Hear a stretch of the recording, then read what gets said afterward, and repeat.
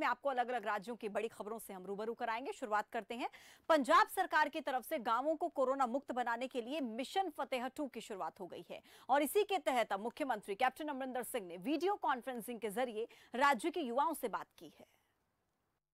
youth ਨੂੰ ਅੱਜ ਬੇਨਤੀ ਕਰਨ ਆਇਆ ਕਿਉਂਕਿ ਤੁਸੀਂ ਥੋੜੇ ਹਿੰਮਤ ਹੈ ਤੁਸੀਂ ਇਹ ਕਰ ਸਕਦੇ ਹੋ ਤੁਸੀਂ ਜਾ ਕੇ ਭੱਜ ਸਕਦੇ ਹੋ ਆਪਣੇ ਪਿੰਡਾਂ ਦੇ ਵਿੱਚ ਪਿਛਲੀ ਪਿਛਲੀ ਵਾਰ ਪਿੰਡਾਂ 'ਚ ਘਟ ਗਿਆ ਸੀ ਸ਼ਹਿਰਾਂ 'ਚ ਜ਼ਿਆਦਾ ਸੀ ਐਤਕੀ ਪਿੰਡਾਂ ਦੇ ਵਿੱਚ ਵੀ ਫੈਲ ਗਈ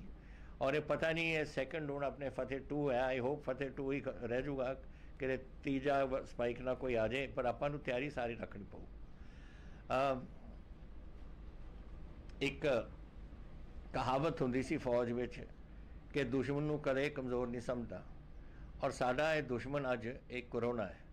ਔਰ ਇਹਨੂੰ ਆਪਾਂ ਤਿਆਰੀ ਰੱਖਣੀ ਪਊ ਆਪਾਂ ਨੂੰ ਪੂਰੀ ਕਿ ਜਦੋਂ ਅਗਰ ਬਾਈ ਚਾਂਸ